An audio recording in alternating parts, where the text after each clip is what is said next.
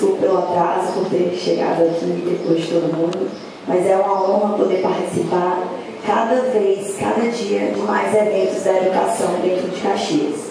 Todos os dias parece que é um evento diferente dentro da educação, e aqui eu só tenho a parabenizar a nossa secretária, junto com todos que compõem a Secretaria de Educação, por estarem trabalhando tanto pelo nosso município, na educação do nosso município passa por um momento de tanta dificuldade nessa pandemia.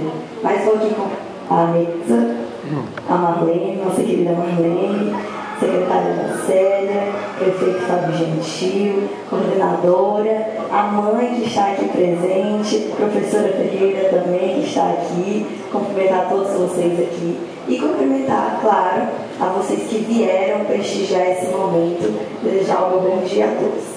Vou começar aqui falando que a educação hoje passa por um momento de dificuldade no Brasil todo. Não é só Caxias, não é só Maranhão, e na verdade nem é só o Brasil, é o mundo todo também. Mas a Prefeitura de Caxias nunca deixou de trabalhar, Prefeitura, junto com a Secretaria, nunca deixou de trabalhar para ter menos danos possíveis para as crianças que estão em casa. É um momento de dificuldade para vocês, mães, para os professores, quem diz que o professor está trabalhando menos é uma mentira, porque o professor não está trabalhando menos.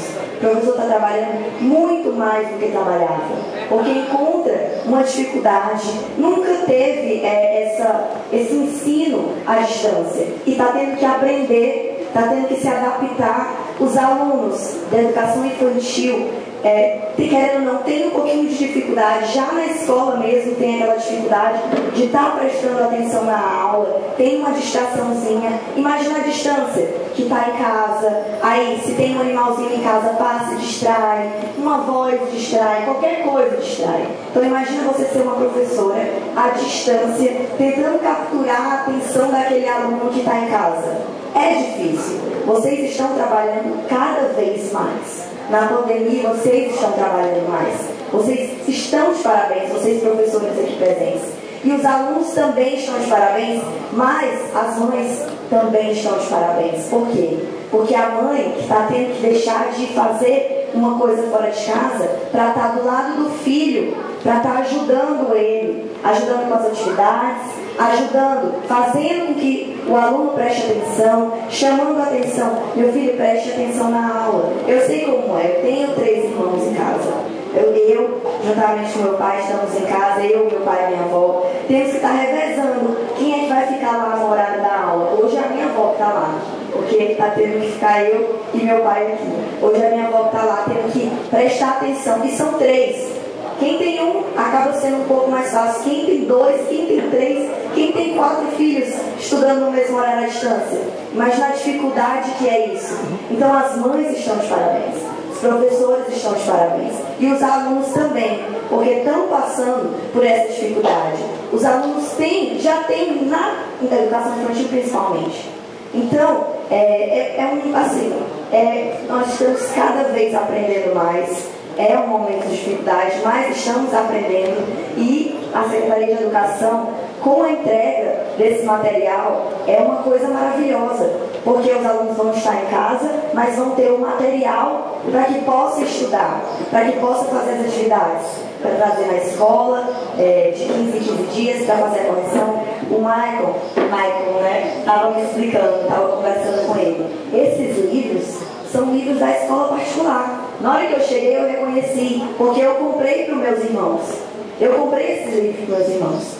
E é muito importante, porque nós não, não estamos diminuindo a pública só porque é pública. Muito pelo contrário.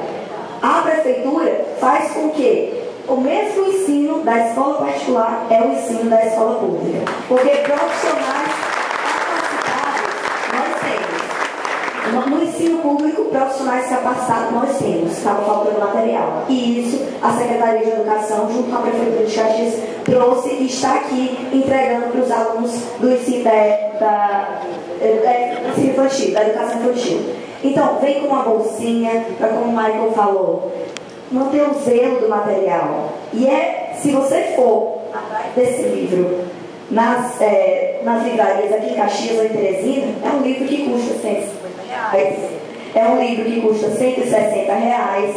Eu sei porque eu já comprei. E hoje nós estamos aqui entregando para os nossos alunos de escola pública para que eles tenham o mesmo estudo da escola particular, só que sem pagar um real pelo livro. Eu sempre falo na saúde, na educação, que nós procuramos trabalhar para ter o mesmo atendimento das, do público para o particular. Porque tem muitas pessoas que não têm essa condição de pagar o particular. Graças a Deus, hoje, meus irmãos fazem a escola particular, mas têm o mesmo nível da escola pública. Assim como eu falo da saúde de Caxias. Nós procuramos trabalhar para que dentro do município nós tenhamos o mesmo trabalho que é feito se fosse pago. Porque nós queremos o mesmo atendimento, eu quero o atendimento para o filho de vocês, o mesmo atendimento que eu quero para meus irmãos. Então nós estamos fazendo por onde? Nós estamos trabalhando para isso. Hoje nós estamos com um projeto Escola que temos e escola que queremos onde o município quer extinguir todas as escolas de taipa, todas as escolas taipa, que seria a escola que temos. E a população vai dizer qual é a escola que vocês querem. Nós queremos uma escola com uma, duas salas de alvenaria. O município pega e faz. Então, no município de Caxias, daqui a um tempo, se Deus quiser, não teremos mais nenhuma escola de taipa. É só o tempo de construírem a escola de alvenaria, porque o projeto já está aprovado. Nós já estamos fazendo, inclusive, professora Ana Célia, você estava lá junto com o prefeito, entregamos uma escola lá no Canto Escuro, uma escola de alvenaria. Se vocês olharem a diferença que era da escola de Taiwan para a escola de alvenaria, os alunos ficaram encantados. Os professores, o professor ficou encantado. E é incrível, é muito bom ver no olhar da população que nós estamos fazendo por onde ajudar. Foram pessoas que prometeram e nunca fizeram, e no governo do prefeito Fábio Gentil ele foi lá, prometeu e fez. E é isso que nós queremos para o nosso município. Nós queremos fazer promessas, mas promessas que possamos cumprir para vocês. Hoje nós temos uma escola de 12 salas, não é, prefeito? Uma escola de 12 salas lá no interior, no Engenho d'Água, não é? Se eu não me engano, professor Marcelo. A escola de 12 salas é no Engenho d'Água. Escola de 12 salas, com tudo que tem direito. A, a sala de informática, biblioteca, tudo que tem direito. Então nós estamos fazendo por hoje. A Secretaria de Educação está trabalhando e vamos continuar trabalhando assim. Eu estou aqui para justamente acrescentar, estamos trabalhando juntos para isso. Temos o ProUni Municipal, que eu não vou esquecer de dizer, porque é uma coisa muito importante. Nós estamos complementando o estudo público para que futuramente os filhos de vocês possam se inscrever no ProUni Municipal, onde a Prefeitura também vai pagar todas as mensalidades do curso, independente do curso que seja.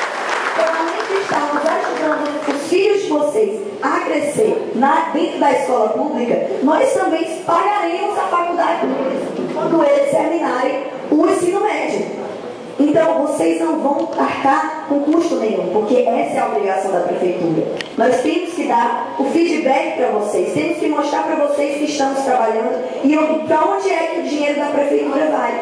Quando dizem, diziam que a prefeitura não tinha dinheiro, é mentira, porque nós estamos mostrando onde é que está o dinheiro e estamos trabalhando para vocês aqui.